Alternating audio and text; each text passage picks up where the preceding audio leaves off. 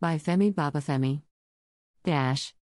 Operatives of the National Drug Law Enforcement Agency, NDLEA, have intercepted a Brazil returnee, Abbasi Prosper Chucks, with 105 parcels of cocaine concealed in candies at the Murtala Muhammed International Airport, Ikeja, Lagos on Christmas Day.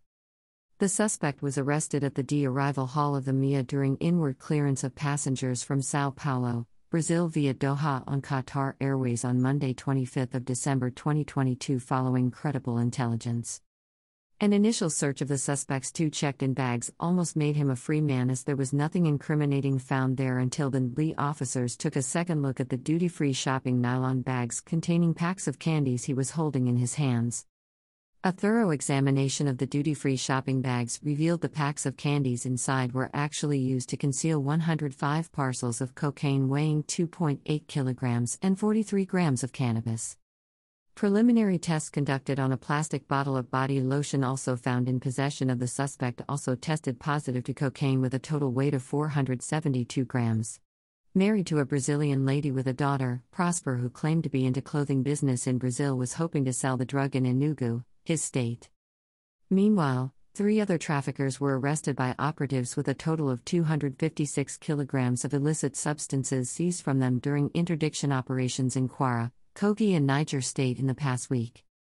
While a team of NDLEA officers on stop and search duty along Ilorin Jebba Highway on Monday 26 December arrested a suspect, Idris Said, 19, with 60 blocks of compressed cannabis sativa weighing 30 kilograms, their colleagues in Niger State on similar operation along Jebba Mokwa Road also recovered 240 blocks of the same substance weighing 168 kilograms from multicolor sacks loaded in a Peugeot J5 bus, with registration number MAG 146A, coming from Lagos and going to Kano for delivery.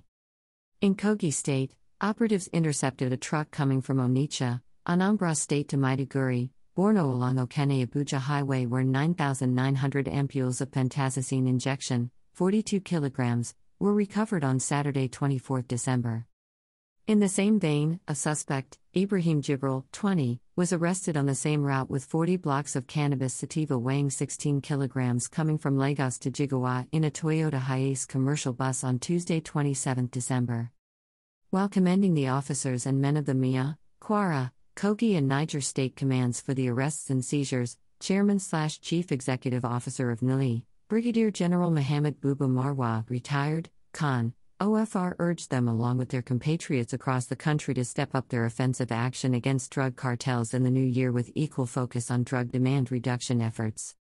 At Views Exclusive Rights, Femi Babafemi, Director, Media and Advocacy, NDLEA Headquarters, Abuja, Sunday 1st of January 2023.